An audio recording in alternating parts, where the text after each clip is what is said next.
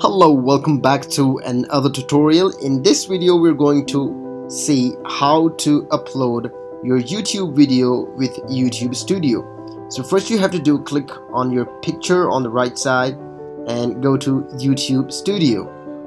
So as you come into the YouTube uh, Studio dashboard, click on the create option and in here you can see an option called upload video. Click on it and you arrive to this portion. Click on this and select a video from your YouTube from your uh, computer. And open it.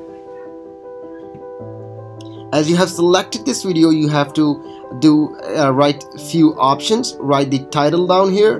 And in here write the description of your video in here write the thumbnail and in here in uh, below the playlist select any playlist you want your video to be added on and select if this video is for kids or not. Usually the videos are not for kids and select more options and in here you can find the tags option. Some people were wondering where is the tag option? It's in here and you can see other options in this video and as you move on to second option is called monetization in here you can either monetize or do not don't want to monetize. It's up to you. So if I monetize my video and done.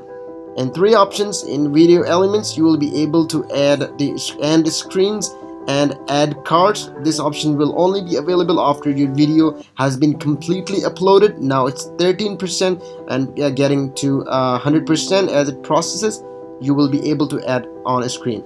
In final you will be going to the visibility. In visibility if you want to publish your video as uh, as first so you will be selecting in server publish the public option or you want your video to be private or unlisted or even you can schedule your own video.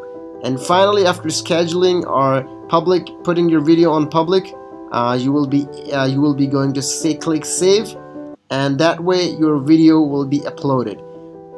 And that's it for today's video and and hope you'll like this video. And if you want to know anything please make sure to leave us a comment and keep visiting Tig's Schooling